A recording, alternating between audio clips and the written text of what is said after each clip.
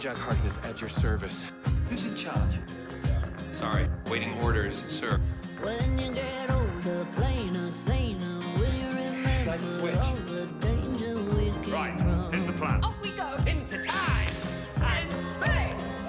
Burning like An impossible thing, Jack, but I was killed. for the days of Keep no working. Never doubted him, never will. Wish I'd never met you, Doctor. Was much better off as a coward. Yes! In hell. I ever wanted was you. See you in hell. It's been fun. I can't die. I'm the man who can never die. But how? I don't know.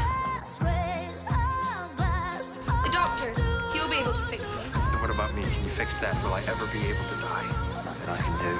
That's why I left you behind. You abandoned me. It's not easy, even just. Did I? Busy life, moving on. Just looking at you, Jack, because you're wrong. But the thing is, how come you left him behind, Doctor? I was busy. I found my doctor. Did he fix you? There was nothing. Is that what happens, though? Seriously? You just get bored of us one day and disappear? What would you do? When he's dying, his, his body, it, it repairs itself, it changes. But you can't. Not he, she. Ah. This I gotta see. Who are you? Torchwood.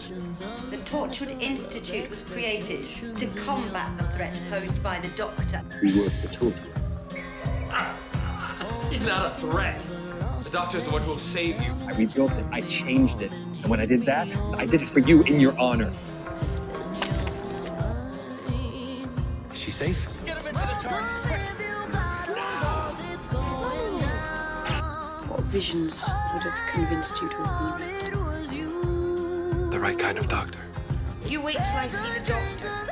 First, I'm going to kiss him. Then I'm going to kill him.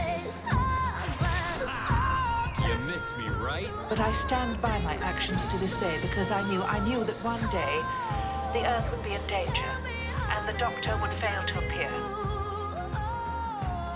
He left me behind. I came here to find him. I thought 21st century the best place to find the doctor, except I got it a little wrong. Hoping if I stayed here long enough, we'd find each other. I had to live through the entire 20th century waiting for a version of you that would coincide with me. Why didn't it scoop her? Why can't I get her here? Here we go. Good luck, Doctor. Something's taken him, Jack's gone. Do you want to die? Tell them the truth,